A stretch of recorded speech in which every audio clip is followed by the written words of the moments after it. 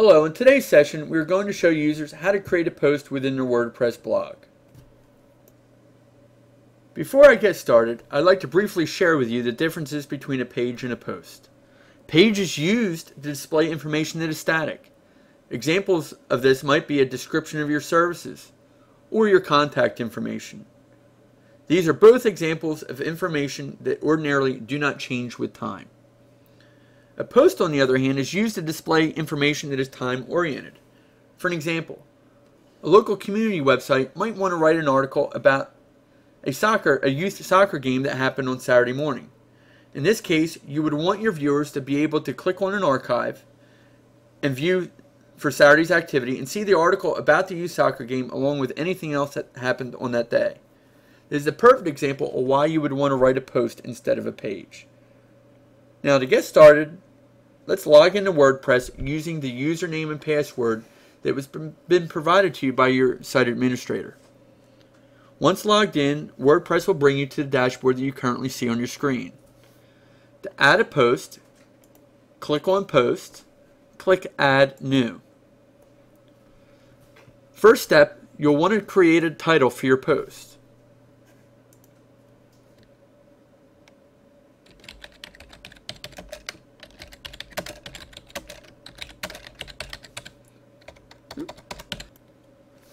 Second step is to actually add content to your post in the box below. So let's go ahead and add some content.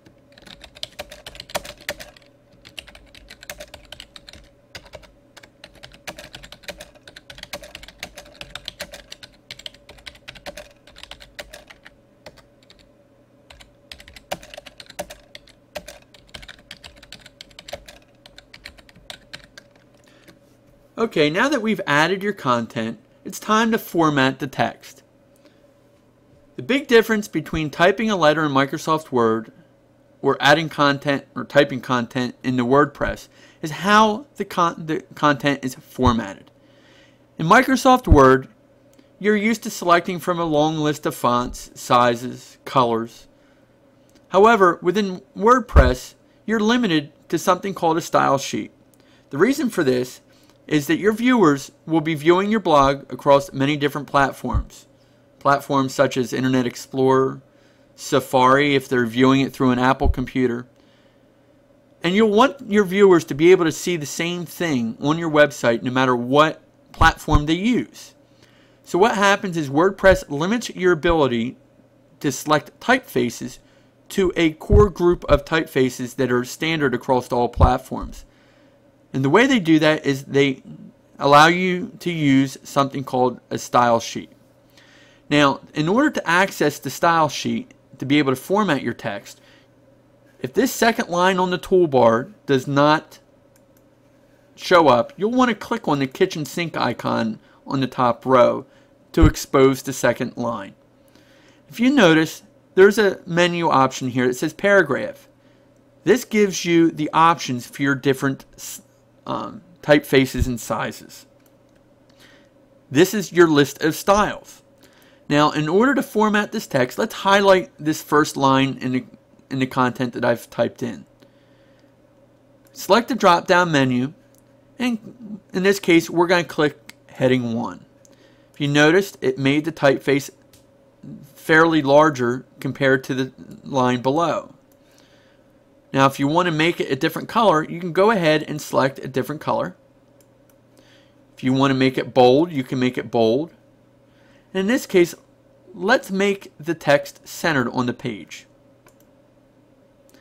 Now that you're done formatting your content, there are two things you'll want to do to your post before publishing it so the whole world can view. First thing is you'll need to make a decision whether or not you want to allow comments on your post by viewers. If you wish to allow comments, you'll want to scroll down to the bottom and make sure under the discussion menu, you'll want to make sure that this box is checked that says allow comments. Conversely, if you do not wish to allow your viewers to comment on your post, you'll want to make sure that this box is unchecked.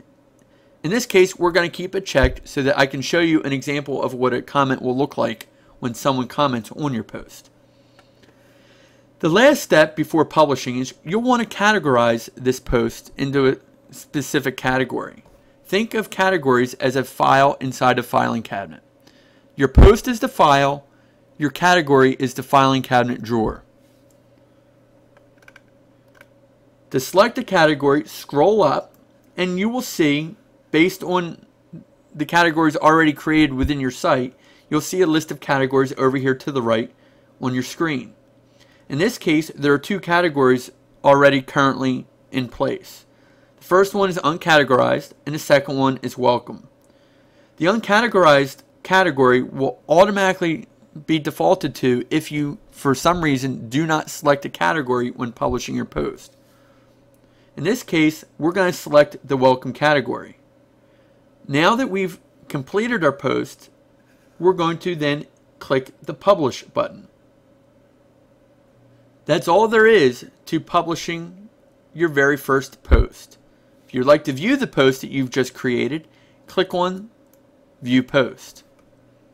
As you notice in the middle of the screen, here's your post. If you notice, the first line of our post is highlighted in red, and it is centered within the, the post area on the page. Now, one last thing before we end our session is I mentioned to you about comments.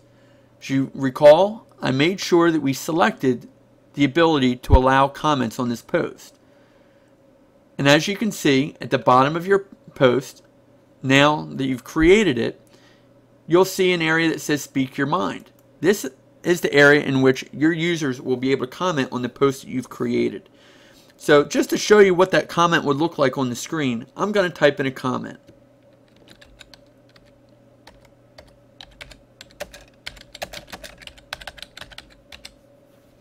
And once I'm done, I'm going to hit submit. As you notice, underneath your, your, your post, here is the comment section, and it says Webmaster says this is a comment. All right.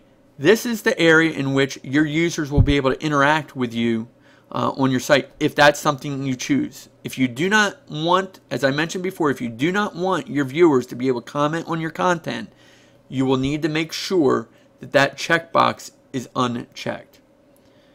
I hope this tutorial was helpful. If you have any questions, feel free to ask.